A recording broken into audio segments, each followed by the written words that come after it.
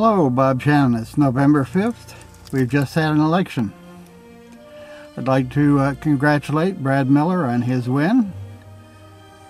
And uh, that sort of brings up the rail trail issue again. And congratulations to Bob Heath as well uh, in the, his district.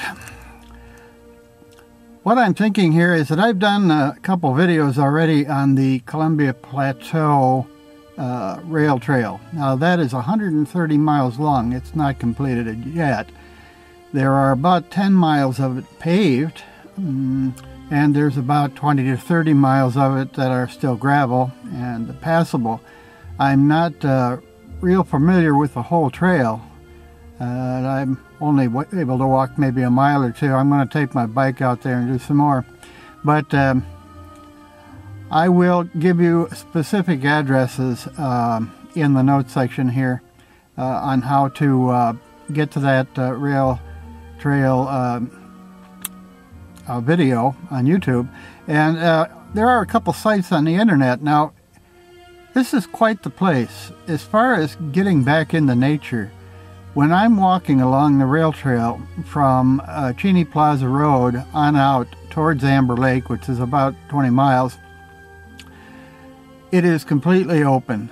It's just unbelievable. These are scablands, the dried. There's 27 different varieties of rare grass, and you just don't see a whole lot of people. You see uh, a few joggers, uh, a few uh, mountain bikes.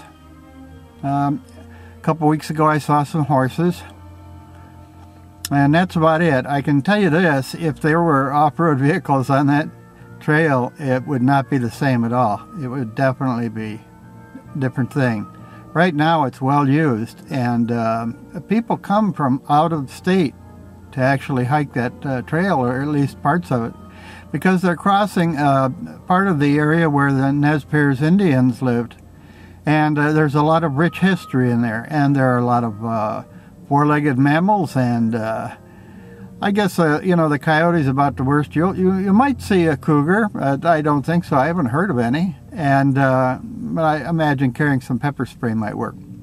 So again, congratulations, and it certainly is a big change in America.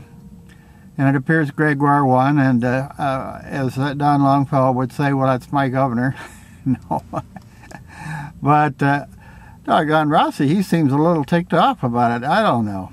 You know, there's just uh, just another story to that I don't understand. So, and then of course the whole world's changed because of the Obama uh, deal. And uh, well, the proof is uh, proof is in the pudding. That's what they say. So we'll see what happens, won't we? And uh, maybe we'll all have to eat our words uh, later on.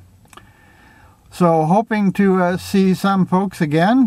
Hoping to get up there and visit Bob Whitaker and uh, and uh, the Longfellows, and uh, maybe even stop uh, in there and see uh, Paul Tronvig at Wolfgang's. he sure needs somebody to talk to. Okay, we'll talk at you again. This will be the midweek update here, and we'll talk at you again on the weekend. Bob Shannon, bobshannon.org.